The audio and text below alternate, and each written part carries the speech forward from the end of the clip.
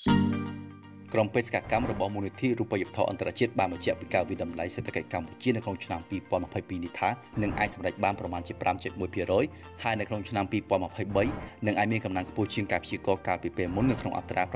6.2%ដែលគ្រប់គ្រងដោយនិន្នាការល្អជាងការរំពឹងទុកនៅក្នុងវិស័យទេសចរក្រសួងសេដ្ឋកិច្ចនិងហិរញ្ញវត្ថុនៅក្នុងសប្តាហ៍នេះបានបង្ហាញអំពីលទ្ធផលស្ដីពីការវិតម្លៃបឋមទៅលើស្ថានភាពនៃម៉ាក្រូសេដ្ឋកិច្ចកម្ពុជារបស់ក្រុមបេសកកម្មនៃមូលនិធិរូបិយវត្ថុអន្តរជាតិចំពោះសេដ្ឋកិច្ចកម្ពុជានៅក្នុងឆ្នាំ2023 2022នេះថានឹងសម្រេចបាននៅក្នុងរង្វង់5.1%និងនៅឆ្នាំ2023នឹងមានកំណើនខ្ពស់ក្នុងអត្រា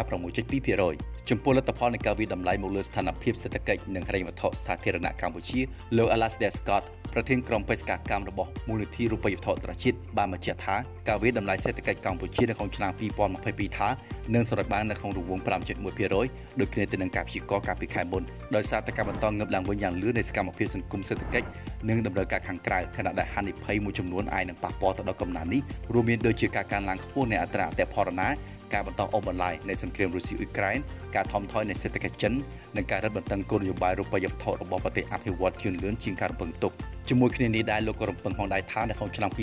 2023អាចនឹងមានកំណើនខ្ពស់ជាងការព្យាករណ៍កាលពីពេលមុននៅក្នុងអត្រា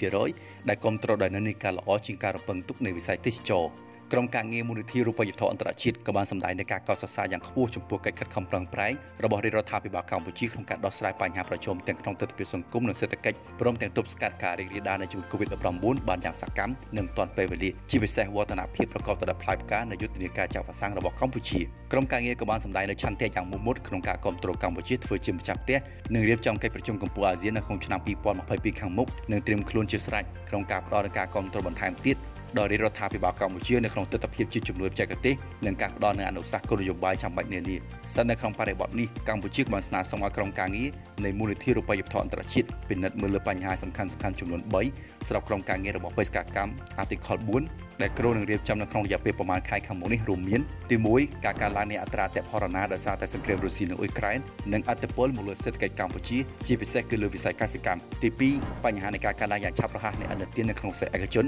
និងហានិភ័យទៅលើសេដ្ឋកិច្ចជាពិសេសគឺសម្រាប់វិស័យសំណង់និងអចលនទ្រព្យទី3ការពិនិត្យឡើងវិញនៃយុទ្ធសាស្ត្រប្រមូលចំណូលនិងប្រភពហិរញ្ញប្បទានសម្រាប់ដំណាក់កាលបន្ទាប់